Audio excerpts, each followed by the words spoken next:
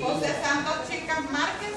En las últimas semanas no se reportan casos de chikungunya en el hospital de Gotera, dice el epidemiólogo, pero es necesario estar alertas por cualquier repunte. Eh, con respecto a Chique, en el departamento hemos tenido una baja, eh, aunque como Oriente hemos tenido una elevación por sobre los demás departamentos. Eh, como hospital esta semana no hemos reportado ninguna sospecha de CHIC, tampoco hospitalizaciones, así es que como si base se, se presenta una baja. Por el dengue se reportan cuatro casos en el departamento, a pesar que las lluvias han cesado.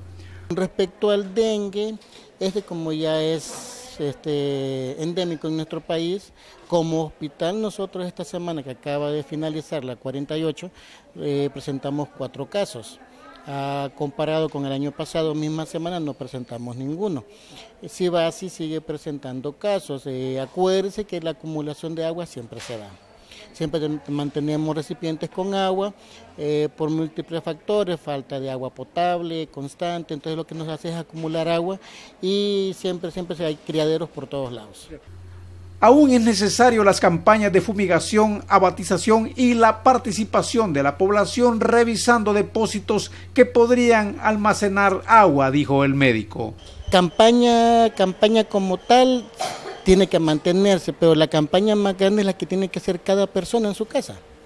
Es botar los criaderos, botar los acúmulos de agua innecesarios, estar vigilando que no hayan criaderos, concientizar al vecino que no tenga aguas acumuladas retenidas y que las estén botando.